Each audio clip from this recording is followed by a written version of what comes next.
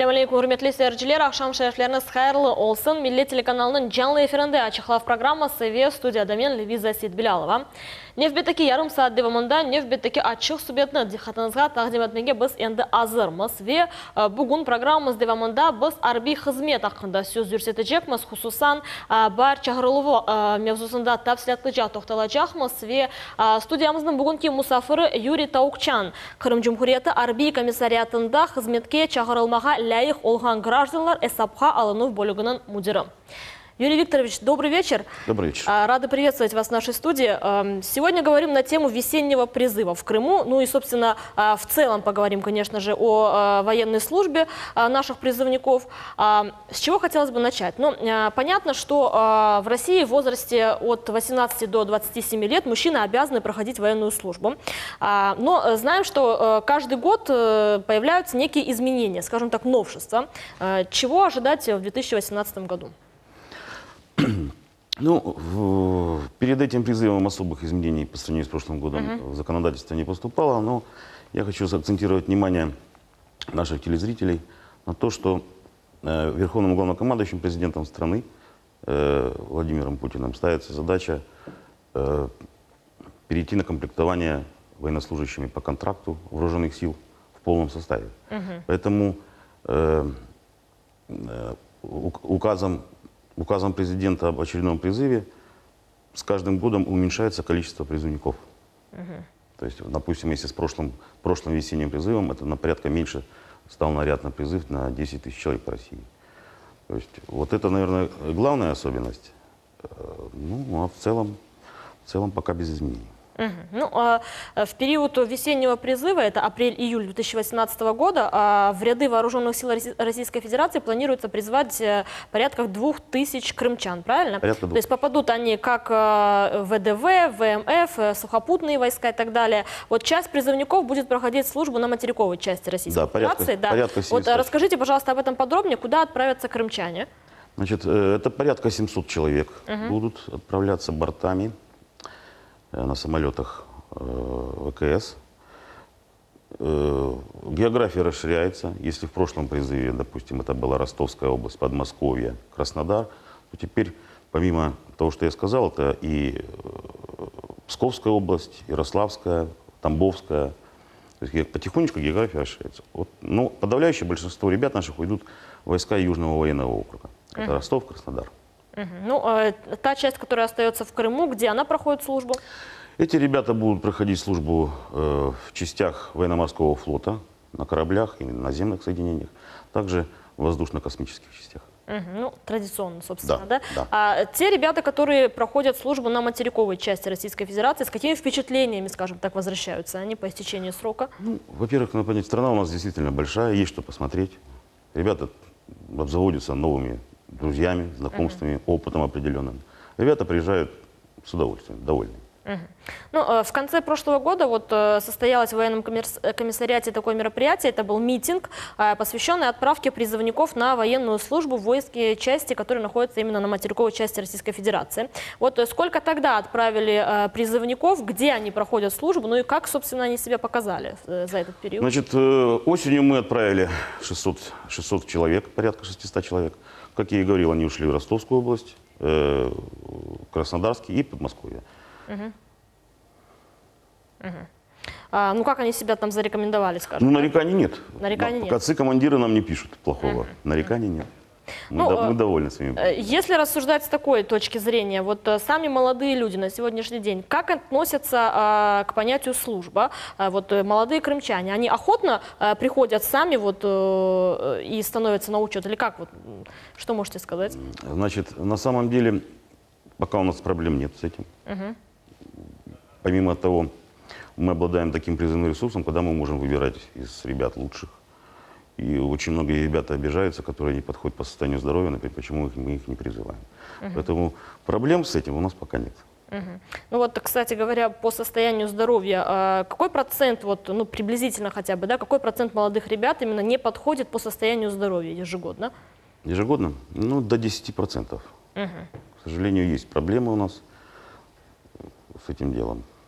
Порядка 10%. Ну, э, если вкратце, то это, наверное, какие-то болезни зрения и опорно-двигательного аппарата, да? Значит, э, да, очень много э, проблем с желудочно-кишечным трактом, особенно ребята, которые вот отучатся в институтах и так далее. То есть мы понимаем, да, идет нарушение питания, неправильное питание, это язвенные болезни, э, это плоскостопия очень серьезные.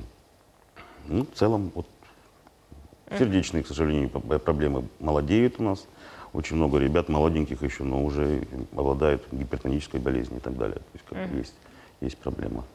Ну, как принято считать, служба это все-таки действительно долг каждого мужчины, да. Но э, я думаю, что в этой связи также еще нужно и говорить о том, что э, важное значение имеет военно-патриотическое воспитание. Вот у нас в республике как с этим обстоят дела? На самом деле проводится очень серьезная, огромная работа. Каждый, практически перед каждым призывом мы проводим э, День призывника, так называемый, где приглашаются наши будущие призывники на эти мероприятия. Как правило, это или в Доме офицеров проходит мероприятие, или на базе, на базе э, войск Национальной гвардии у нас здесь на Субхи, с показом техники, пробованием солдатской каши. Помимо этого, в феврале мы проводим акции. Есть такая профессия «Родину защищать». Это где мы э, рассказываем, походим по школам, рассказываем ребятам э, о поступлении в военное училище, какие есть военные училища и так далее. И на этом фоне очень радует, что очень много девочек у нас, очень много девочек у нас идут э, поступать в военное училище.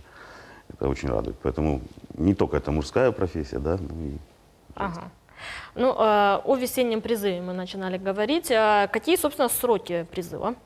Значит, все время муссируются в народе какие-то слухи о том, что они увеличиваются. Нет, они не увеличиваются. Это 12 месяцев и, и не планируют увеличиться. Как я вам сказал выше, в контексте того, что мы хотим набирать все-таки больше контрактников в армию, то и нет смысла, в общем-то, э, увеличивать да, эти сроки. Поэтому пока об этом разговора нет. 12 месяцев, пусть никто не Беспокоиться переживает. нет Ни в коем смысла. случае. Ни в коем. Ну, э, призывная кампания началась с 1 апреля, насколько я понимаю, правильно? Что это означает? С чего начинается призывная кампания?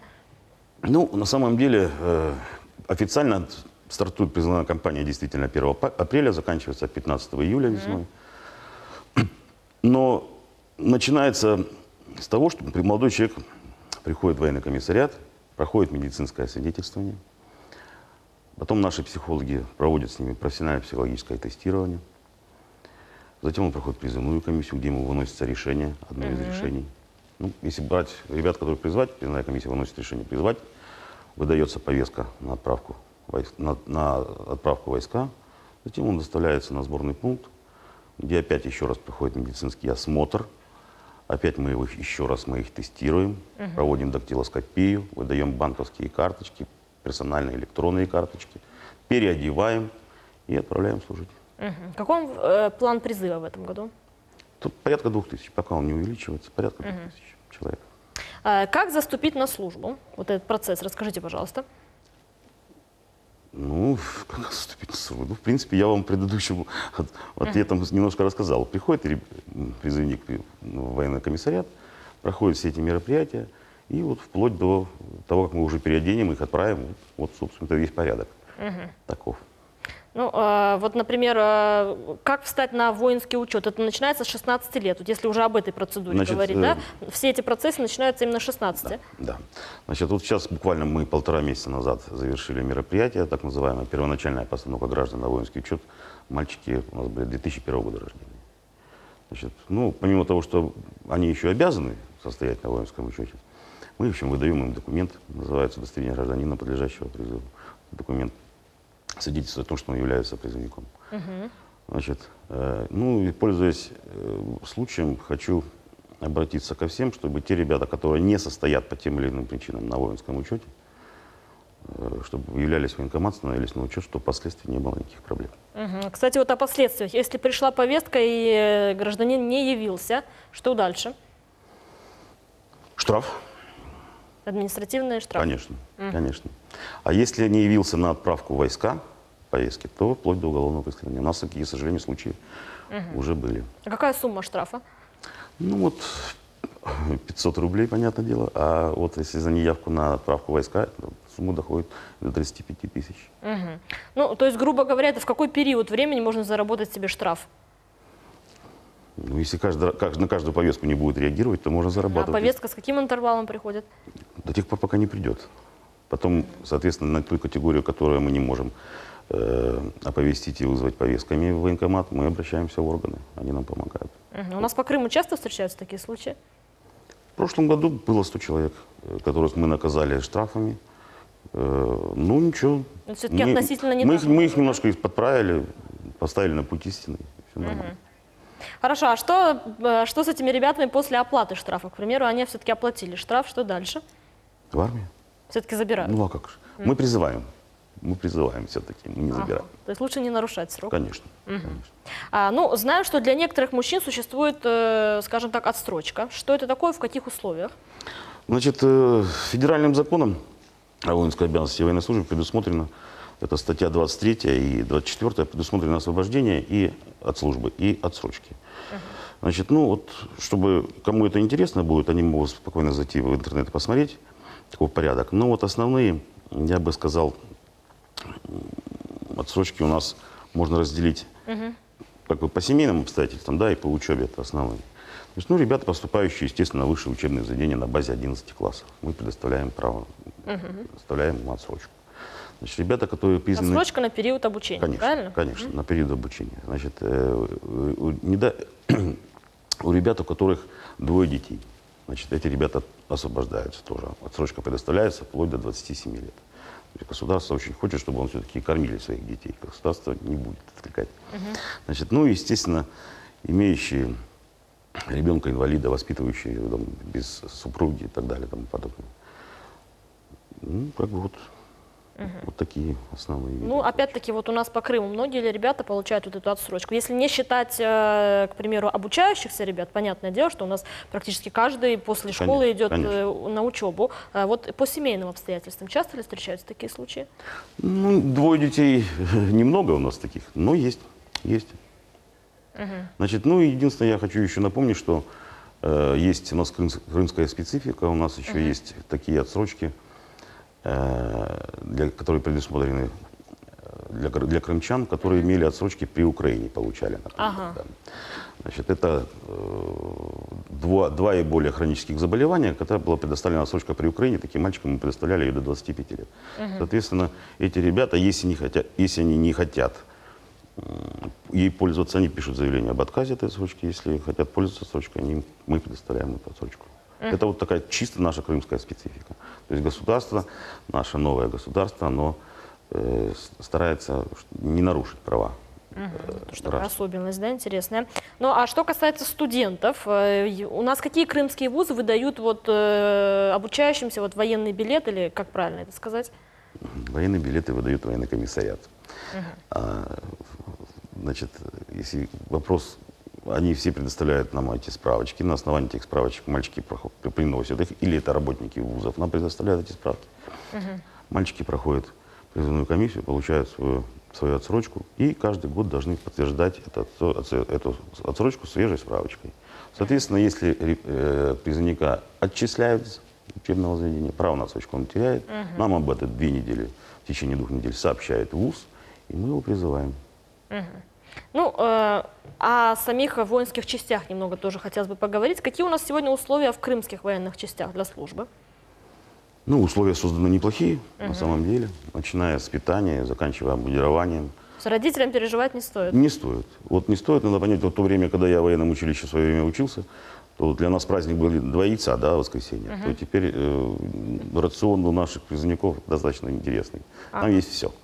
Мы знаем, что даже для э, соблюдающих религии, религиозные основы ребят есть определенные комнаты, где можно Да, совершать обязательно. намаз. Обязательно. Э, Скажите, вот э, такой еще интересный момент. Э, э, С материка призывники проходят ли службу в наших частях? Конечно. Есть такое, да? Очень много, конечно, ребят. То есть достаточный процент именно таких Достаточно ребят? процент, конечно. Интересно. А вот э, что еще хотелось бы спросить. Э, Как только будущий солдат попадает вот в военкомат, да, его отправляют на медицинскую комиссию, собственно, о чем вы и говорили, и там молодому человеку присуждают категорию годности. Вот либо он безоговорочно годен, либо годен с ограничениями. Вот расскажите об этом, пожалуйста, подробнее. Значит, э, существует пять категорий годности. Это А, Б, В, Г, Д. Да, А, Б, В, Г, Д какая. Значит, А, это ребята признаются, А категория, это годные к военной службе. Б, это годные с незначительными ограничениями.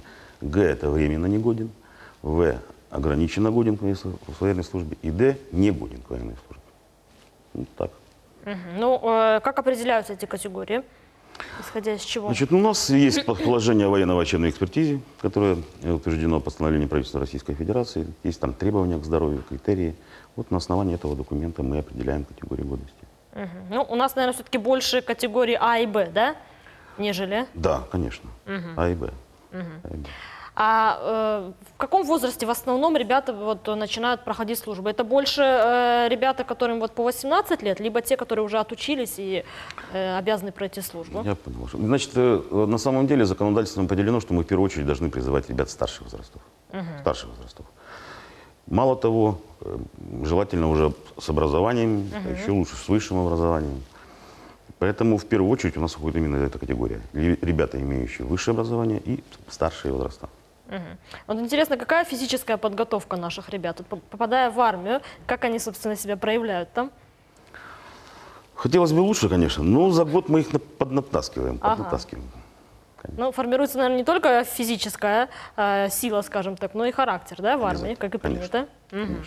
А вот знаю, что э, в апреле прошла такая интересная акция в Симферопольском гарнизонном доме офицеров. А акция называлась «День призывника. Весна 2018 года». Как прошла акция? Значит, э, вкратце прошло очень хорошо, как всегда. Мы на очень высоком уровне организовываем эти мероприятия. Были, э, был и бывший военный комиссар республики, генерал-майор Волков. Был даже ветеран Великой Отечественной войны, Робок Ага. Иван Иванович, который участвовал в освобождении Крыма еще в составе 51-й армии. Присутствовал протеерей Дмитрий, присутствовал э, помощник муфтия Исламов Мустафа, которые обратились к ребятам с напутственным словом. Выс- Выступил ансамбль. Ну, в общем-то, мы, мы делаем все для того, чтобы поднимать патриотизм в наших детях. Ну, насколько это удается, опять-таки? Удается. То есть Удается, такие, а насколько такие акции важны, вот скажем так? важны. Важны, потому что таким образом мы все-таки ребятам немножко разжевываем, чтобы они что-то не боялись, где-то что-то недопонимали. Да, да. Чтобы у них не было опаски при получении повестки. Поэтому эти мероприятия очень важны. И мы это видим по результатам, что я говорю еще раз, к нам ребята идут с большим желанием. Ну, как вы считаете, вот насколько важно еще для родителей проводить такие мероприятия? Потому что зачастую Очень даже важно. родители больше боятся, Да. нежели сами больше, ребята. больше роди- Ну, мамы, конечно, Да, наши, конечно. наши родные, любимые мамы, они очень боятся почему-то отправлять. Ну, это понятно. И для родителей, наверное, это тоже, конечно же. Мало того, я вам скажу больше, когда перед присягой в воинских частях есть проходит мероприятие День открытых дверей, мамы с большим удовольствием смотрят, как это все происходит, и немножко успокаиваются. А, Вот вы вначале сказали, что информацию о прохождении военной службы также можно найти еще и в интернете. Вот где можно ребятам ознакомиться с а, определенными положениями? Просто в поисковике надо набрать федеральный закон о воинской обязанности военной службе. Вот я говорю, самые интересные те статьи, которые, это статья 24, это отсрочки. Очень много вопросов по ним. Там все можно почитать, конечно, с комментариями от консультантов. То есть, Ну и, собственно, вот День открытых дверей, то, что вы говорите. конечно, мы тоже доводим. это, то. Конечно. А, ну, а, Юрий Викторович, что хотели бы пожелать нашим будущим призывникам? Удачи. Военной удачи, знаете. И еще главное, чтобы все же вернулись живыми и здоровыми. Это главное. Ну и опять-таки, какие меры вот необходимо, м, какие меры нужно предпринимать, чтобы повышать вот эту вот гражданскую ответственность наших молодых людей, потому что, ну, все-таки прохождение службы это действительно долг, Долг. это обязанность. Какие меры нужно? Ну, на самом деле, надо с первого класса этим заниматься. Да. Обязательно. Вырабатывать чувство долга, мужчин особенно. Ну и надо, не надо забывать, что мы все-таки, они все-таки мужчины. И обязаны проходить службу, чтобы защищать свою маму, девушку, детей, страну. А, Юрий Викторович, ну спасибо большое, что сегодня были гостем нашей студии. Спасибо за интересную и полезную информацию. Э, Рады были видеть вас в нашей студии. Спасибо большое. До свидания. А, Урметлі сәржілер бөлелік чықлав программасы сонуна келді. Мені сихатырлатам бүгін студиямыздың мұсафыры а, Юрий Таукчан Қырым Жумхуриеті Арби комиссариатында қызметке чағырылмаға ләйік олған гражданлар әсапқа алынув бөлігінің мудирі олды. Э, Программа сонуна келіп, э, сізге ей ақшамлар тілей. Көрішмек сағылықне қалыңыз.